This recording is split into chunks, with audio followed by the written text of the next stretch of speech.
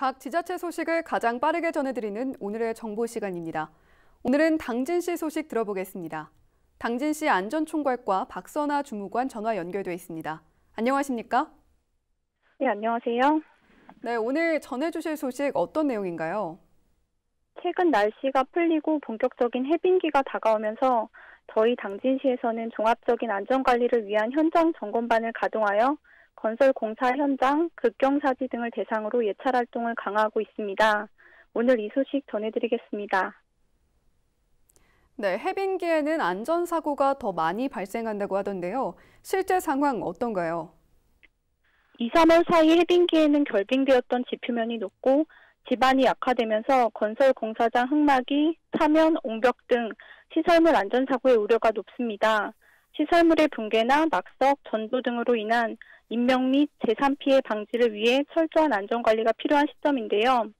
전국적으로 10년간 해빙기 안전사고가 50건 정도 발생하였는데 50%가 해빙기에 취약한 낙석 위험 지역, 20%가 건설 공사장에서 발생한 걸로 조사되었습니다. 네, 구체적으로 어떤 부분들에 대해 점검을 강화하는 건지도 궁금합니다. 네, 옹벽과 석축, 건설 현장, 사면 등을 대상으로 시설물 일대 조사를 진행한 결과 저희 시의 경우에는 송화급 고대리의 낙석 위험 지역과 성북 국가산업단지 내 에코타운 및 한일화학 신축 공사 현장 등 대형 공사장 9개소, 관내 극경사지 18개소가 해빙기 안전점검이 필요한 대상으로 선정되었습니다. 그 중에 안전사고 위험성이 커서 집중관리 대상으로 지정된 송화급 고대리 낙석 위험 지역에는 관리자를 지정해서 주 1회 이상 정기 점검을 하고 지속, 지속적인 예찰 활동을 실시할 계획입니다. 위험사항 발견 시에는 즉시 현장 조치하고 중대한 결함사항 발견 시에는 소유주에게 정밀 안전 진단 및 보수 등 안전 조치를 명령할 예정입니다.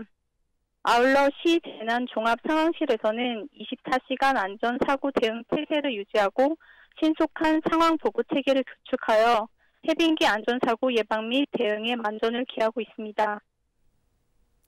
네, 해빙기에는 특히 각 사업장과 가정에서도 주의가 필요할 것 같은데요. 당부 사항도 짚어주시죠. 음, 건설 현장에서는 평상시에도 철저한 안전 감독을 하고 있지만 특히나 해빙기에 작업자는 안전 난간이나 작업 발판 등의 상태를 꼼꼼히 점검하고 공사를 진행하여야 하고요. 가정에서는 해빙기 가스시설 이완에 따른 가스 누출 사고가 발생할 수 있기 때문에 가스 점검을 주기적으로 받아야 합니다. 그리고 날씨가 조금씩 풀리면서 등산을 가시는 분들이 늘어나고 있는데 낙석 위험이 높은 계곡이나 미끄러운 바위에 올라가는 일은 삼가야 합니다. 네, 마지막으로 방송을 통해서 전하고 싶은 말도 한번 해주시죠. 요즘 코로나 바이러스 전염 사태가 발, 발생하면서 방역에 모든 이들의 관심이 집중되고 있습니다.